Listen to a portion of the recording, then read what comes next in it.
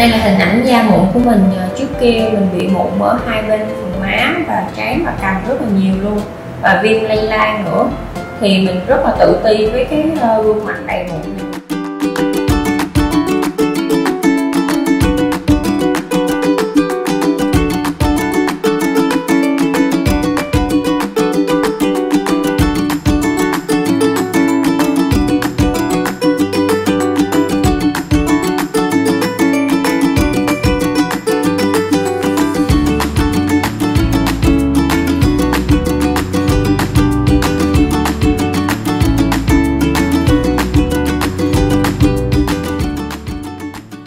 thì ở da của chăm hết mụn hoàn toàn luôn.